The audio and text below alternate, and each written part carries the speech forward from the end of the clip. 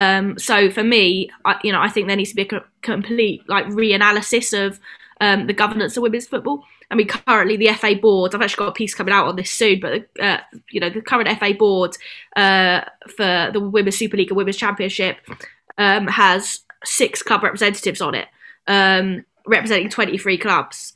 Um, and I, a lot of those clubs have their own interests and aren't going to necessarily represent those 23 clubs uh, as well as you would like. The four WSL clubs are all clubs uh, who are involved in the ES uh, the ESL breakaway.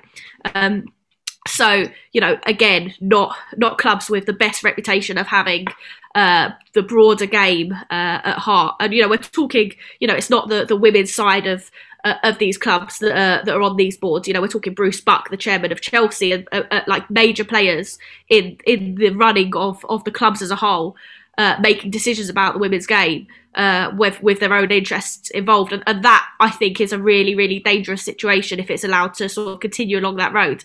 Um, there's only two championship representatives. Why on earth is there four WSL representatives and two championship representatives that represent the whole league? Um, that again, like, just does not the whole two leagues. That doesn't make sense to me. Um, and you know, I'm beyond beyond finding a reason for why that is the case.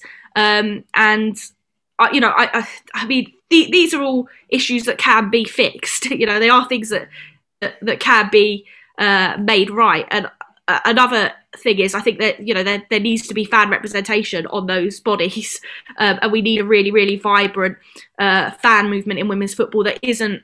Um, and and this is going to sound a little bit patronising, and I don't mean it to, because the fan movements in women's uh, and fan groups in women's football are very very good. But um, so, uh, really vibrant um, fans movements that um, that that really question and interrogate things rather than just um, uh, kind of cheerlead the game um, and uh, and all the progress being made that but that are very very critical of of, uh, of these kind of governance issues too. I think that's super important.